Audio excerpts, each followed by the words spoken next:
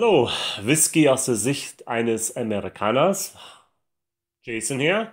Und heute habe ich Four Roses Yellow Label.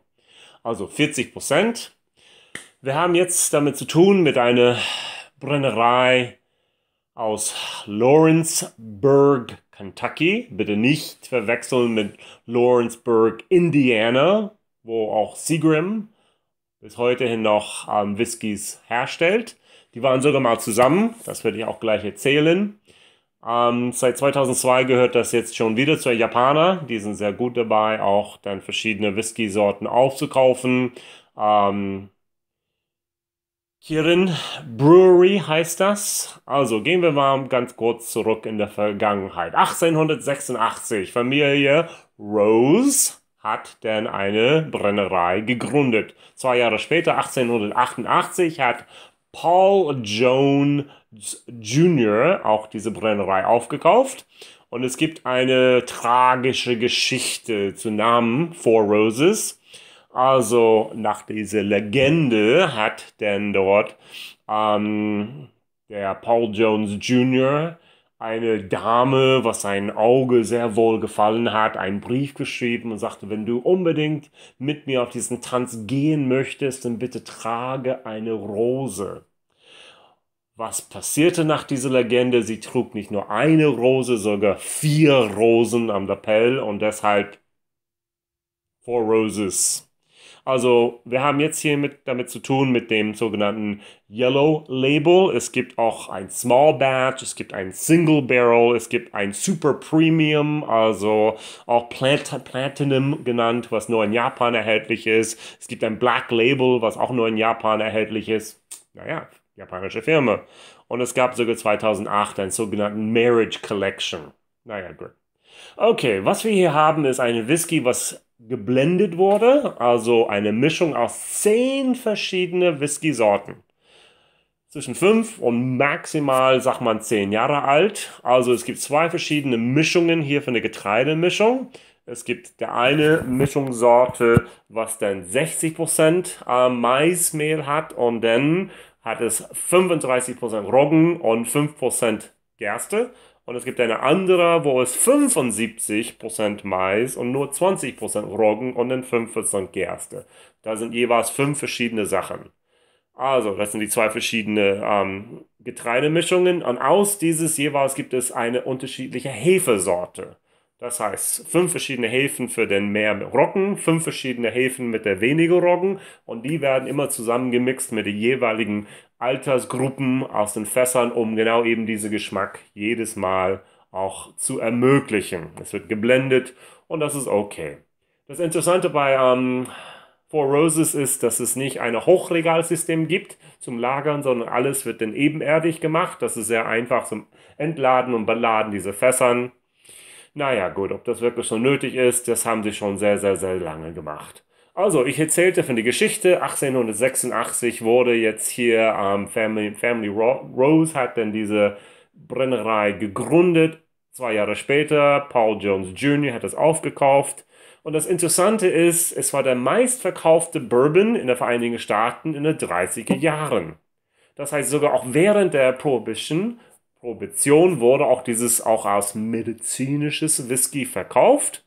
Und ähm, Paul Jones damals war ein Mensch, der in Georgia auch Whisky am Anfang gebraut hat, ähm, hergestellt hat. Aber in Georgia wurde dann dry, also dort wurde es verboten, Alkohol herzustellen, zu verkaufen. Und deshalb zog er dann mit seiner Familie dann nach Kentucky.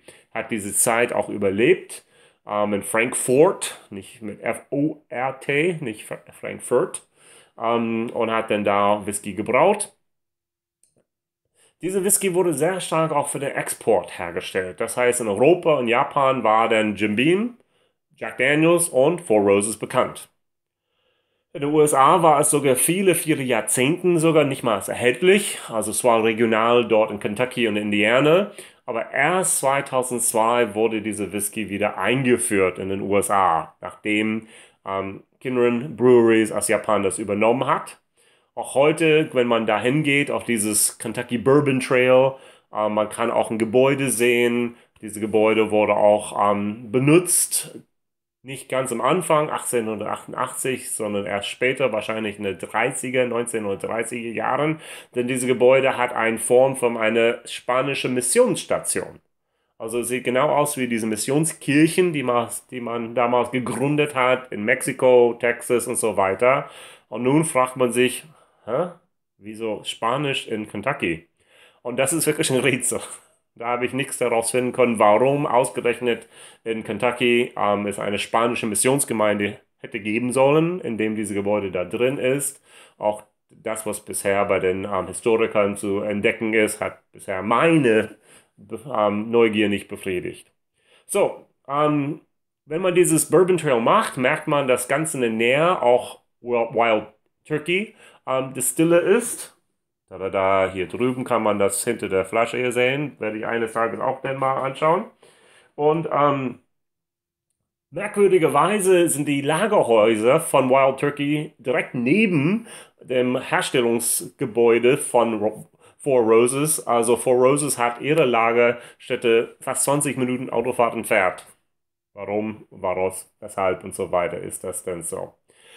Gut, Four Roses am um, Yellow Label hat schon verschiedene ähm, Preise gewonnen. Also nicht nur Four Roses selbst, was Distillery of the Year 2011, 12 und 13 war, was echt wow, sondern auch 2014 hat es ein Gold Medal gewonnen, sowohl in San Francisco als auch Denver. So, ähm, ich würde gerne jetzt das testen wollen. Ja, wir probieren mal. Schraubverschluss, naja, billig, also sogar auch die 1 Liter Flasche hier. Ich habe keine 20 Euro dafür bezahlt, Leute, ja, also ich kann nicht an einen Schraubverschluss richtig gut dran riechen, obwohl ein bisschen schon, habe ich nicht erwartet. Gut. Okay, schrauben wir wieder hier zu, stellen wir wieder hier oben hin, damit man das so sehen kann. Wunderbar, kann man gut entdecken. Ja, also in meine Nase erst einmal ein bisschen Alkohol, wir machen wiederum hier unseren Test. Also Bourbon immer von Farbe her. Sehr, sehr schön. Das, was passiert, wenn diese hellen Eichen, amerikanische Eichenfässern denn da zwischen fünf und zehn Jahre lagert. Wahrscheinlich eher sind das fünf bis sechs Jahre. Also ganz selten benutzt man hier ein achtjähriges. Also wenn ich dann rieche, erst einmal fruchtig. Ein bisschen Eiche,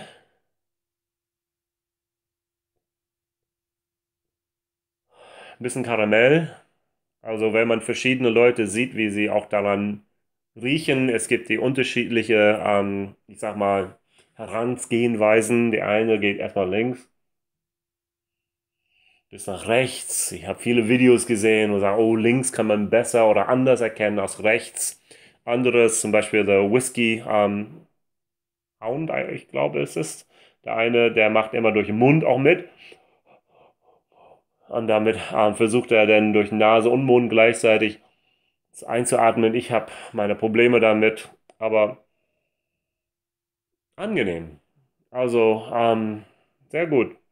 Übrigens, ähm, man merkt, ich habe schon ein bisschen was davon in den letzten Monat probiert, auch mit Freunden zusammen. Und ähm, schmeckt. Also mir schmeckt es echt. Einen richtig netten Bourbon. Für den Preis-Leistungs kann ich sehr, sehr empfehlen. Also ähm, wenn ich hier vergleiche mit einem irischen Whisky, also für mich meine Go-To Irish Whisky ist ähm, Paddy. Und wenn ich jetzt hier eine billige, ähm, wo es nicht zu viel kostet, natürlich ein billiger Go-To ähm, American Bourbon habe, ist es oft auch ähm, Four Roses Yellow Label. Ja, okay.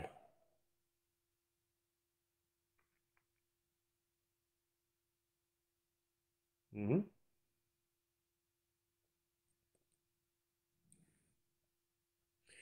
Am Ende Pfeffer. Am Anfang entfaltet es sich sehr schön, ein bisschen fruchtig, ein bisschen süß, ein bisschen Honig. Also vom Abgang muss ich sagen, ist ja nicht mächtig. Jetzt kommt diese Süße mit dadurch.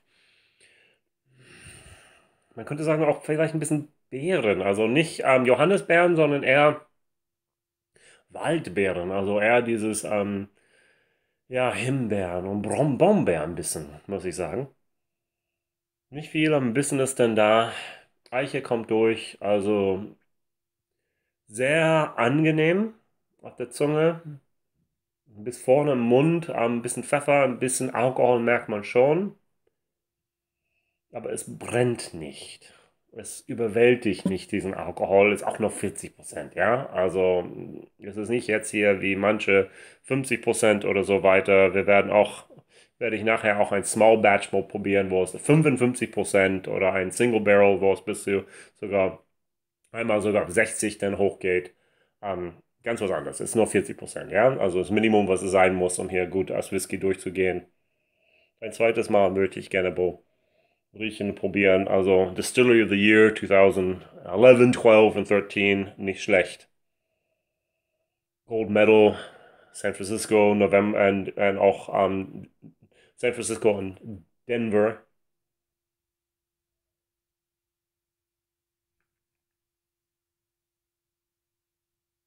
Mhm. Mhm.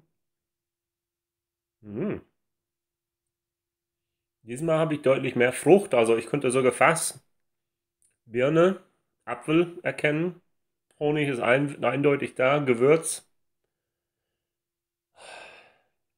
Angenehm. ich muss einfach sagen, angenehm. Also auch wenn ich hier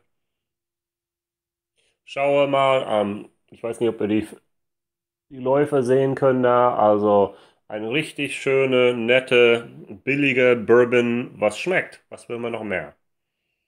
Alltagsbourbon, also wenn man nicht viel Geld ausgeben möchte, jemand da erstmal ein Bourbon hinstellen möchte. Four Roses Yellow Label. Whisky aus der Sicht eines Amerikaners. Bis demnächst.